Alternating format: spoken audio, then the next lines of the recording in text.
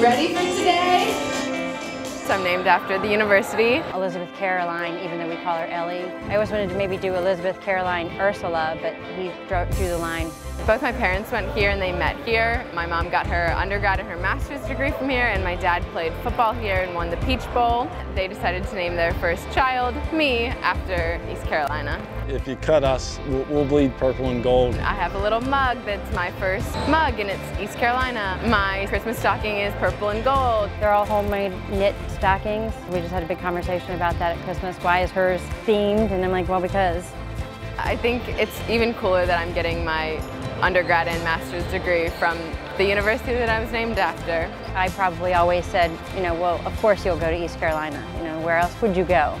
No pressure. My parents wanted me to be happy and ultimately whether I was repping the purple and gold or a different university, they would have been proud. Did you know that you were following in your mom's footsteps? No.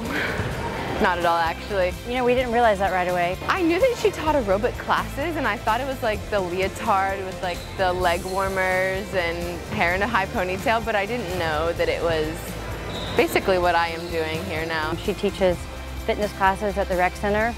I taught aerobics classes at Christenbury, and now she's going to do the same thing. I stayed and got my master's with a graduate assistantship.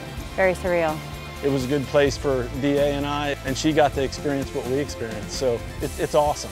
I think it's a special bond that I will have with my parents that my siblings will not have, but they love us all. And we've talked about getting, maybe the three of us getting the same ECU tattoo. Greg says he won't do it, but I don't know, we'll see. Everything happens for a reason. You'll end up where you belong, and I think I was meant to belong here.